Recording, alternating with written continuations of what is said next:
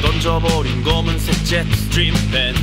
뚜껑과 용기가 없는 눈동자 위로 깜빡거리다 홀로 세운 밤.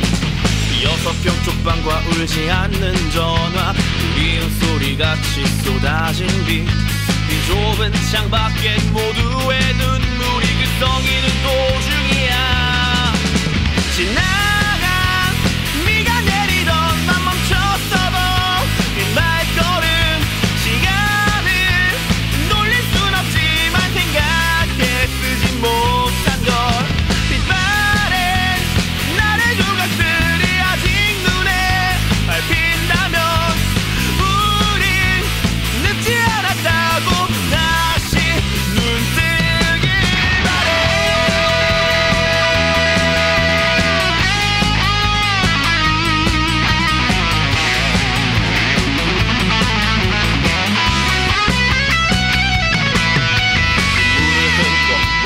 컨버사이 생경한 감촉 지면을 딛는 발 흐르는 마음으로 러너사 온몸을 흘리는 심장 받고 젖은 새벽 구름 뒤 숨은 달빛. 낯선 거리 빛바른 가로등. 해소도 못한 채 가득 찬 감정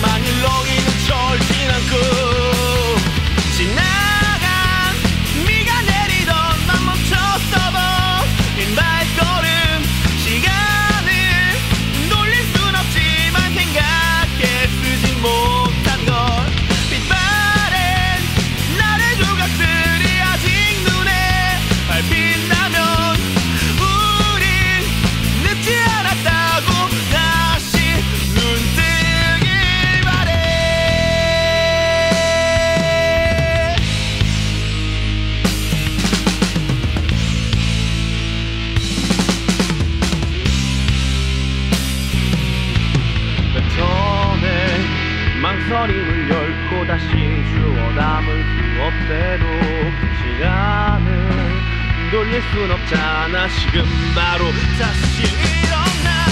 지나